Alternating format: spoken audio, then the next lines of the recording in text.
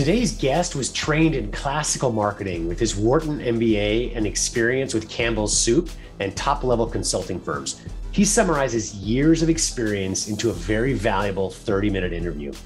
I encourage you to listen all the way through as this interview is packed with advice you can apply to your product launch today.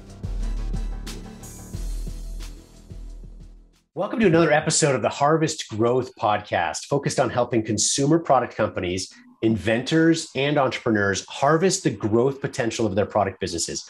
Today, I'm really excited to be speaking with Ben Knepler, who's the co founder of TruePlaces.com and the co inventor of their first product they brought to market, which is called the Emmett Chair, which I'm really excited to share with our audience. Uh, for those of you who are listening and don't have the ability to see visuals, um, we'll obviously describe this and you'll get a sense of it. But I do encourage people to go visit their website and see the cool technology that they put into portable chairs. It's a really cool product uh, called, again, trueplaces.com. You'll see it in the show notes as well if you're driving and forget to write this down. Uh, but please go check it out when you have the chance. In the meantime, I want to jump into our conversation. Ben, first of all, thanks so much for joining our show today. Oh, thanks for having me. It's a real pleasure you know, you and I met on LinkedIn and we we share some kind of background, right? Where we came into this consumer product marketing space, uh, both be at what I would call classically trained, right? At at uh, MBA, getting an MBA, right, and then kind of getting out in the, in the CPG world before now you jumping on your own and launching this product, the Emmett Chair, and, and, and founding this company, TruePlaces.com. Can you tell us a little bit about your background and what brought you here today? Yeah, absolutely. I, I, I spent most of my career in in various forms of, of consulting. Um, originally, management consulting, so traditional strategy, business strategy. Um, I, I, I did my MBA, as you said, um, and then following that, I spent a few years on the client side in kind of classic consumer packaged goods, um, where you really get get get that traditional training, as as you say. Um, after that, I uh, I spent a few years back in consulting, but really focused on on brand and marketing strategy. Um, and then I, I, a couple of years ago, jumped uh, into starting True Places. So it's been a, a real a, a, real journey. Um, I met my my co-founder. We worked together at uh, we were working at Campbell Soup Company. Um, my co-founder was there for almost 15 years, so he really comes from that that traditional traditional background, but we worked together in the in the innovation team uh, there and uh, in brand management and marketing. And I think I mentioned to you as we were going back and forth with, our messages that uh, we share. I, we sent a few of our people that kind of maybe well, you could say they upgraded, right? But I worked at Kraft Nabisco and they left that to go work at Campbell Soup, and I've kept in touch with them and really enjoyed their experience there too. So it's yes, certainly a great company where you learn a lot and and it gives you a good footing, I think, to now work in a different world. You know, what have you found so far where obviously marketing marketing cans of soup in your case or you know crackers and cookies in my case over at Nabisco, it's not the same thing as marketing direct to consumer, but it's a great training ground. So what would you say is, has helped you from that past classic marketing experience that's really helped you to propel your career on the direct to consumer side? Yeah, I think there were a, a couple of things. Um, one is just the real, like, relentless focus on the consumer.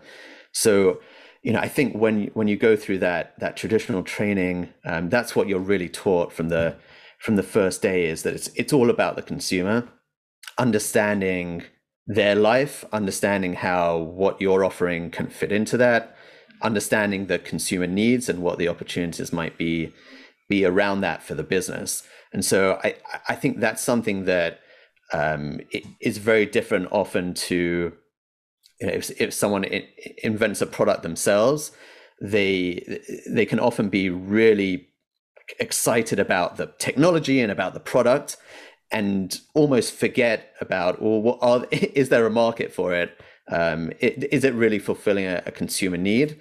And is what what are the pain points around that that you're addressing? So I think that's probably the biggest um, uh, kind of learning from that training that I, I feel like we've really been able to bring to to true places. Um, it, it, outside of that, obviously, as you know, that the context is so different.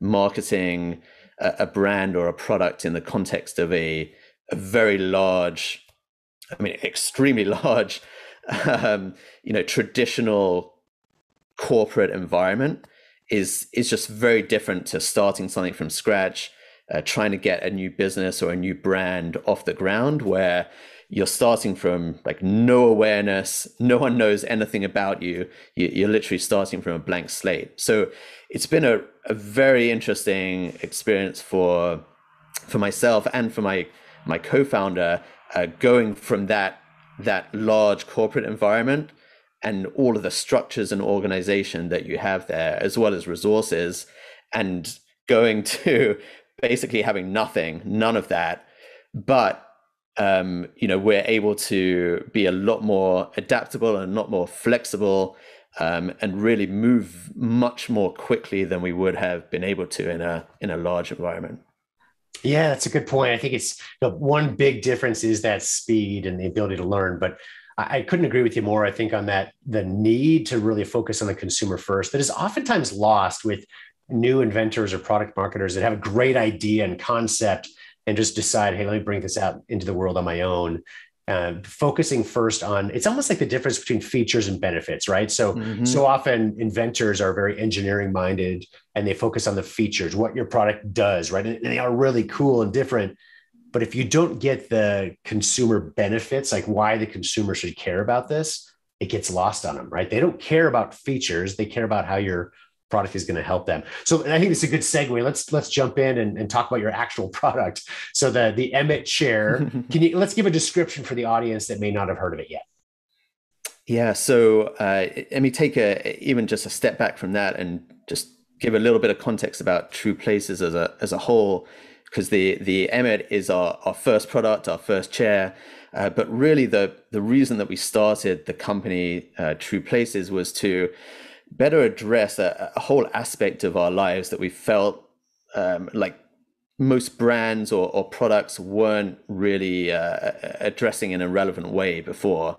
So we realized that we just spent a huge amount of our time outside, but not necessarily in the great outdoors of going on a huge camping trip, but often in these situations like hanging out with neighbors and friends in the backyard or the front yard, going to block parties, on the sidelines of kids' sports games, uh, concerts in the park, all of these types of situations that are that are outside but not necessarily that far from home. And what we were realizing was a lot of the things that we were using and taking with us weren't really designed for those occasions.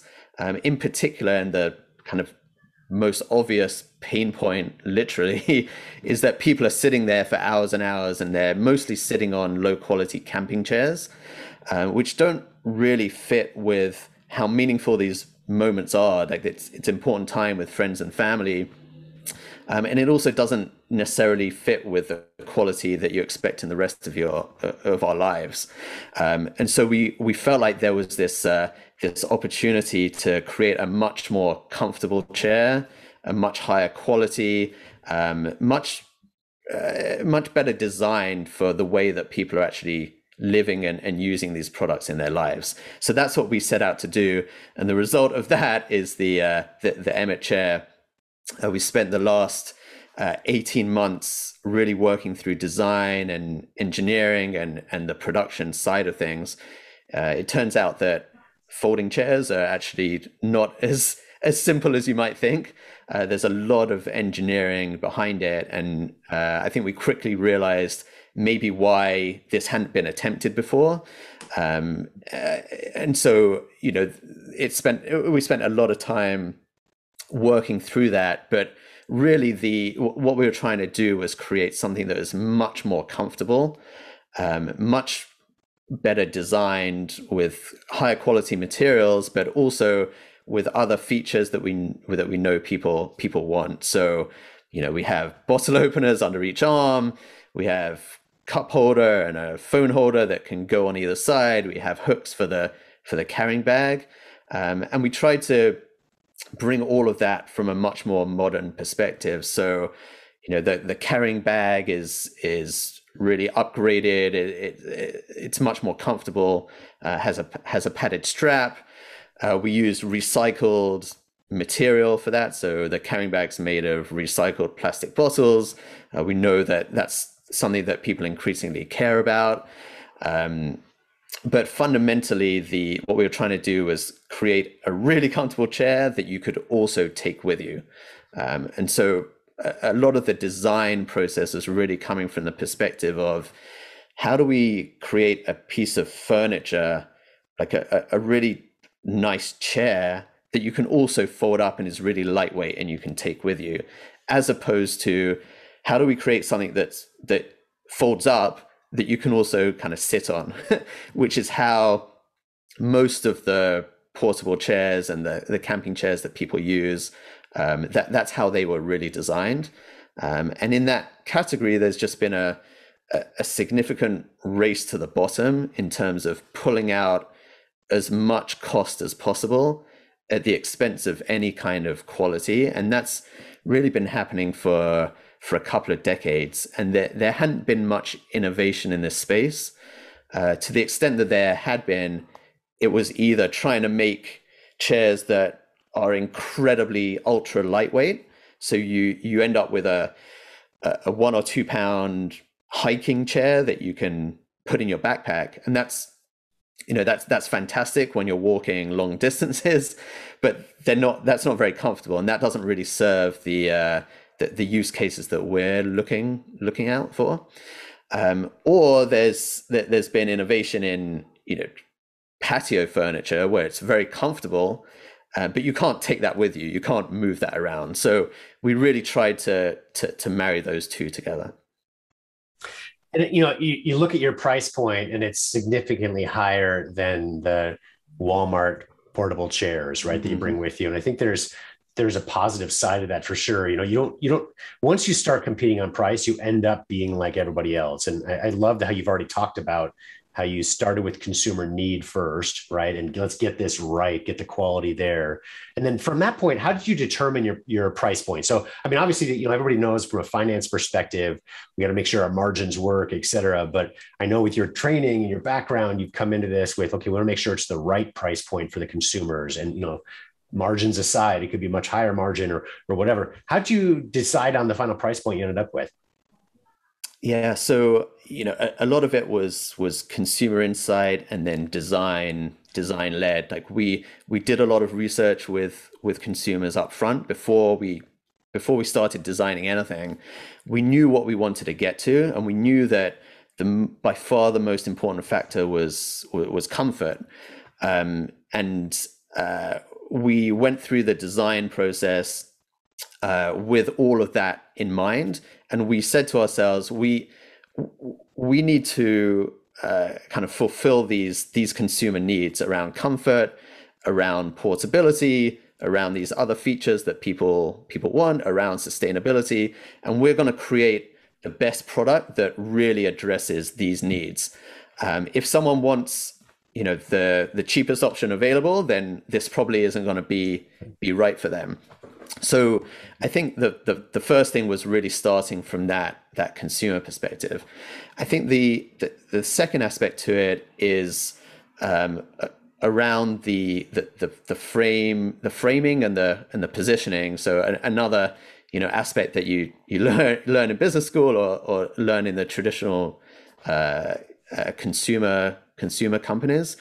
Um, the the way that we present the product um, and the way that we talk about it and the context around it is obviously hugely important. So, you know, if we if we just line up our chair against you know the Walmart camping chair and just you know show that to people, we're just going to look like a really expensive version of what they already know.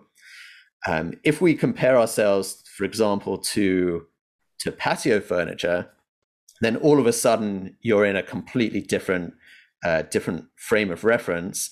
Um, people, the the price points and the the the context in in which people use those those products is very different. Um, and so already with with even just that that decision around you know how we how we frame frame ourselves like those kinds of things can can make a, a big difference um, and you know, the final point I think is, as you know, you know, price is one one aspect of the of you know what classically they'd call the marketing mix, right? The the product and the price and the and the distribution and then the the communication around it.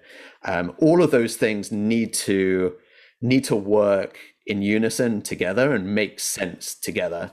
So, you know, in everything that we do, we're not trying to compete directly against the Walmart camping chair. Like that's that's a great option for people that are looking for, you know, something that that you can you can take with you that you can sit on, and your main you know concern is is price. Uh, we're trying to compete in a in a slightly different space. Yeah, absolutely. Know your know your customer, and it you know in summary, it, it, guides you towards the right price, the right features that need to be included in that as well. I think very well said. So we're going to discuss how you raised over $160,000 on Kickstarter to get the business off the ground. But first, I want to share a message from one of our partners, Shopify. So there's a reason that over 1.7 million e-commerce businesses trust Shopify to handle everything from marketing and payments to secure checkout and shipping. At, at, Harvest Growth, dozens of our clients find that Shopify is the best platform to connect with marketing channels like Facebook or Instagram. And we've seen conversion rates more than double when transitioning to the Shopify platform. For a limited time, we can help you get your first month free, a savings of up to $79 if you reach out to Shopify at harvestgrowth.com to learn more. So Ben, I want to talk about uh, your, your, Kickstarter success. It's it's great to see, and it's not easy. You know, I, I, think a lot of people that haven't been down that road of crowdfunding before, they don't realize that it's not just about having a good product. Now, that's of course you've got to have that, right? But there's so much more that goes into that that window of success, which is so limited in crowdfunding. I think you mentioned yours was 30 days, right? Is that how long your campaign was? Yep. So you know, any other marketing campaign outside of crowdfunding you try, test, fail, learn, improve, and you've got time to do that. There's no end. But in Kickstarter, you've got that short window. Everything has to come in and has to get everything dialed into to work. And you guys did so very successfully. So again, raising $160,000 in, in 30 days, which kickstarted or you know really crowdfunded your business to get it off the ground in the first place. Can you talk a little bit about what helped you guys to be successful? Yeah, absolutely. You're you're you're right. It is it is a little bit of its own world, right? The uh, the product crowdfunding space, uh, whether it's Kickstarter or Indiegogo or or, or others. Um, yeah, it, it was something that we that we planned that, that we planned for for a, a decent amount of time. Um, we felt a, quite a lot of pressure with it. As you said, it's it's thirty. Yeah, the campaigns are typically 30 to, to 60 days, so it's a, a really short window. Um, there are uh, at this point a lot of best practices around uh, doing a, a, Kickstarter campaign. Um, you can find a, a, lot of information online, um, and you can also find uh, experts who really focus like that's all they do. Uh, so we, we, we did uh, we did get some additional uh, kind of expertise for that because we we felt a lot of pressures you know we we we can't afford to learn our way into it um, in the way that you you normally would. Um, I I think it it is an interesting opportunity though for for, for new new brands, new companies, new new products uh, to to be able to get a little bit of a start in the market. Um, first of all, you're able to do it well ahead of when you're actually going to be shipping the product. So that is a huge benefit from a business perspective to, and, and just from a cash flow uh, perspective, uh, to be able to to show a little bit of market demand, you know, six or nine months before you're actually really in market. So that that's huge. Secondly, there is an existing uh, community of people who are uh, interested in in supporting new innovation and new products and are excited about being like on the cutting edge of that, being the first ones to uh, to to be able to get in, involved with that. Um, ha- having said all of that, um, we I think treated it correctly as a way to gain pre-sales um, rather than like a, a, a traditional funding method. So it, it, it's maybe not like the ideal way to really fund the business, but it's a fantastic way uh, to, to gain pre-sales. And we, we treated it like we were launching the product, right? So um, as much as the, the actual campaign is important, even more important than that is the pre-launch campaign. Uh, how do you get people excited um, before you actually launch on, on Kickstarter? Uh, one of the things that uh, quickly became apparent when we started doing research around it was you, you really need people to back your campaign on the first couple of days. Um, without that momentum, it's uh, it, it's very difficult to to be successful. So, in order to to to to have people backing it on the first couple of days, you really need to do some kind of pre-launch marketing, right? To to build a little bit of a community. Um, I think this is why you see many of the most successful crowdfunding campaigns are coming from companies or people that have done it before. So they already have an existing customer base. They already have an existing community that they actually bring to the to the campaign. And then beyond that, I think you know it's it's a little bit of a not dirty secret in that world, but the reality is now um, you need to drive traffic to that campaign. And so the the I, I think maybe 10 years ago when Kickstarter first started, it was, it was a little bit different. Um, you could throw an idea up there, and if people liked it, then they might then they might fund it. The reality now is that there are so many projects on there. There's so much going on um, most people are not going to see what you're doing. Um, and so this, I, I, I, think the, the most dangerous thing in probably in all of marketing, but even more so in with something like Kickstarter is the idea that, you know, if, if I build it, they will come, right? So um, trying to do something that you think is really cool and it may be fantastic from a product perspective, but if no one sees it and no one knows that it's there, then you don't have a chance. And so the the reality is that you need to have other marketing efforts, whether it's social media ads um, or other other efforts that are driving potential backers to your campaign. Absolutely. That's great. Great uh, way to summarize the success on that platform. It can be so complex, but I think you've done a good job explaining know, the key metrics. And every campaign is going to be a little bit different, of course, but but there are uh, uh, there is a path really to follow that's going to be more likely to drive you towards that success. So now that you've you've gotten past that pre-sale approach, what's next for your business?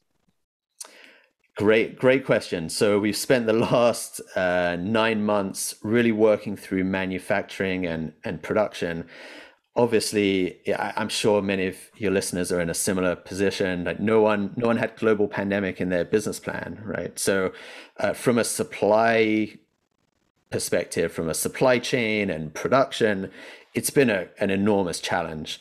Um, but we we've just uh, we're just emerging from that, and we have you know our first production run completed. So we're we're in the process uh, right now of, of actually launching the business for for real. Uh, so we're we're just sending out the first units to all of our pre-sales backers, which is incredibly exciting, and we we can't wait to get it get get the chair in, into their hands um, and to to get additional feedback from from them. Um, and we just made our our, our website live at, at trueplaces.com. So we're going to be selling direct to, to consumer through there.